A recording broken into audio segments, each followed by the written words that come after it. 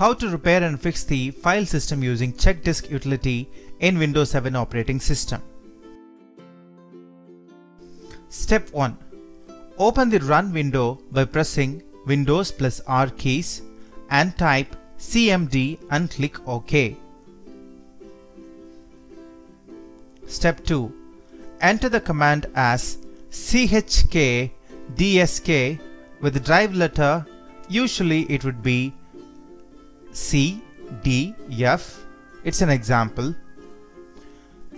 Colon forward slash R to repair the file system error. Syntax would be check disk E drive colon forward slash R.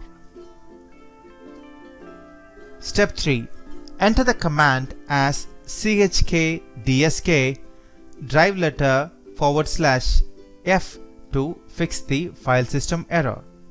The syntax would be chk dsk e colon forward slash f.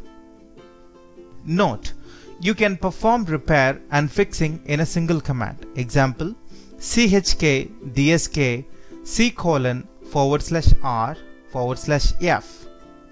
Step 4. Press enter and the process will take some time. And that's how it is done.